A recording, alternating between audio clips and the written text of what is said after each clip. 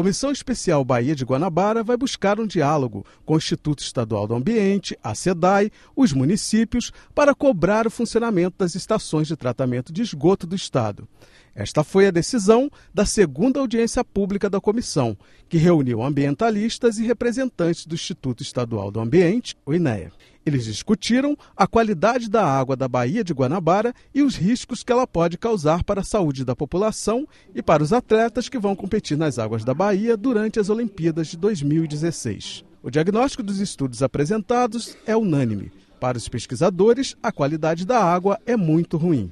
Mas para os testes realizados pelo INEA, o nível de contaminação nas áreas de competição para os Jogos Olímpicos está abaixo do padrão estabelecido pela legislação vigente no Brasil. Mas o INEA não garante ausência de risco para os atletas nas raias olímpicas. Existe um valor mínimo né, aceitável para poder ser considerado próprio para o banho. Existe bactéria? Existe. Até quanto essa bactéria pode ser infecciosa?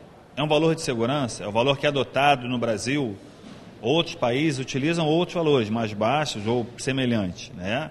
Eu falar que não existe risco é muito leviano. O pesquisador da PUC Rio, Renato Carreira, questionou o critério usado pela legislação brasileira. Se você pega o parâmetro que existe na legislação brasileira para que a pessoa possa ter contato com a água, né? a gente usa um valor de mil coliformes por coliformes termotolerantes por 100 ml de água e em outros países você tem 200 você tem 250, você tem 500, ou seja, valores abaixo.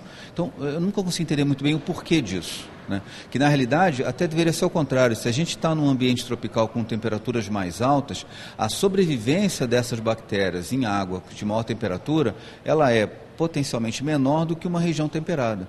Então, nosso número devia ser mais baixo ainda e não acima desses outros países. Ele também informou que há novos contaminantes que não são levados em conta e que precisam ser investigados. Dentro desses contaminantes emergentes, a gente encontra resíduos de fármacos. A, população ingere medicamentos, antibióticos, anti-inflamatórios, é, uma categoria enorme de substâncias, remédios que, que a gente ingere. Isso é eliminado né, pela, pelas fezes ou pela urina, acaba fazendo parte do, do, esgoto, do esgoto doméstico e isso acaba atingindo os corpos d'água.